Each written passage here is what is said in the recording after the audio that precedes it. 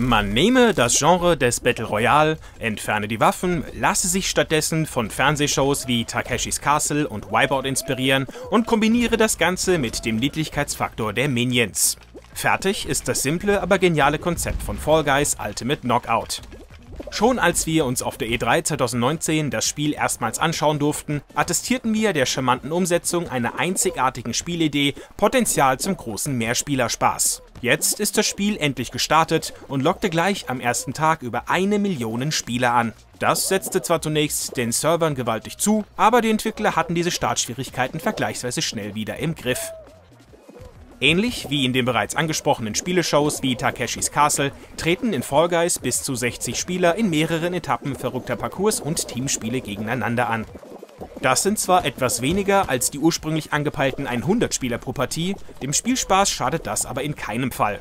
Auch 60 Teilnehmer sind noch mehr als genug, um sich bei der Bewältigung verschiedenster Hindernisse gegenseitig im Weg zu stehen.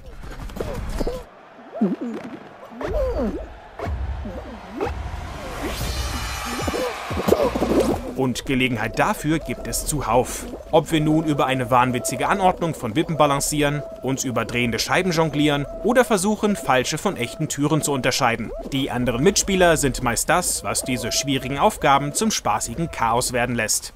In einigen Etappen sind wir aber auch auf Mitspieler angewiesen. Es gibt nämlich auch Teamevents, bei denen die verbliebenen Spieler in zwei bis vier Mannschaften aufgeteilt werden, die dann versuchen müssen, gemeinsam ein Ziel zu erreichen. Dazu gehören Spiele wie das Sammeln von Eiern in der eigenen Spielhälfte, das Schieben einer großen Kugel entlang eines Hindernisparcours oder das Meistern einer Art Fußballspiel. Mit jeder Runde scheiden mehr Spieler aus. In der vierten oder fünften Etappe kommt es dann in der Regel zum Finale, wo der letzte verbliebene Spieler schließlich zum Sieger gekürt wird. Der Kampf gegen die verschiedenen Hindernisse und Mitspieler macht dabei unheimlich viel Spaß.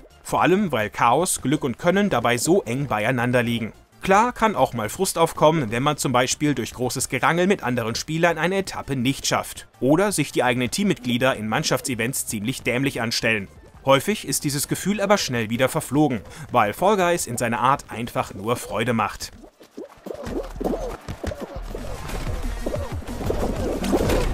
Einen großen Anteil am konstant anhaltenden Spielspaß haben auch die Spielfiguren.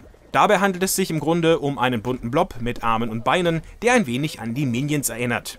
Von den Entwicklern werden diese putzigen Kreaturen schlicht Fall Guys genannt. In ihrer ganzen Art, mit Slapstick-Animationen, niedlichen Geräuschen und lustigen Kostümen, sind die Spielfiguren darauf ausgelegt, für Lacher zu sorgen.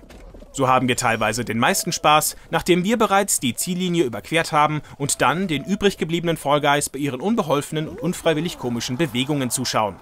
Das Missgeschick der anderen Spieler wird dabei zum großen Unterhaltungsfaktor.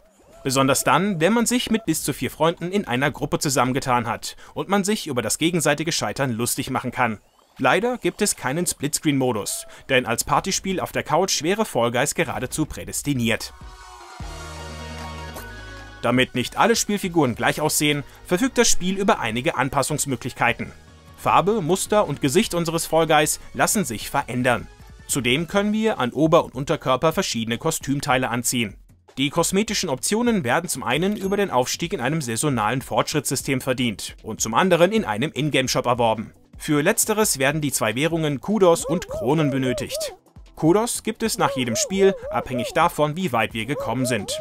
Kronen verdienen wir uns vor allem durch Siege, aber auch über die Saison.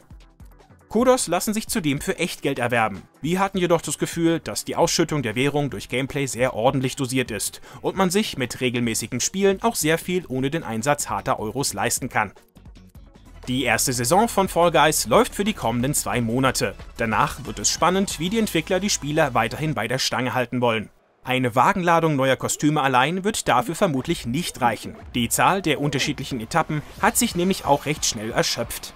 Häufig die gleichen Stages zu wiederholen, kratzt zwar nicht wirklich an der Motivation. Dafür sind die Situationen aufgrund der vielen unberechenbaren Spieler immer wieder andere. Aber auf längere Sicht sollte auch bei den Spielrunden für frischen Wind und mehr Abwechslung gesorgt werden. Denn genau wie die Idee des Spiels auf einen Bierdeckel passt, ist auch der Umfang überschaubar, was jedoch mit dem unglaublichen Spielspaß kaschiert wird. Wenn es den Entwicklern aber gelingt, auf dieser Basis aufzubauen, kann sich Fall Guys auch langfristig als spaßige Multiplayer-Alternative etablieren, die sogar Mehrspieler-Muffel zu der einen oder anderen witzigen Partie zwischendurch begeistern kann. Habt ihr euch auch schon in die bunte Welt von Fall Guys gestürzt? Welche neuen Stages könntet ihr euch noch vorstellen? Schreibt es uns in den Kommentaren und lasst uns auch gerne ein Abo und ein Like da, wenn euch das Video gefallen hat. Schaut doch mal auf pcgames.de vorbei, wo ihr viele weitere interessante Artikel, News und Tests rund ums Thema Videospiele findet.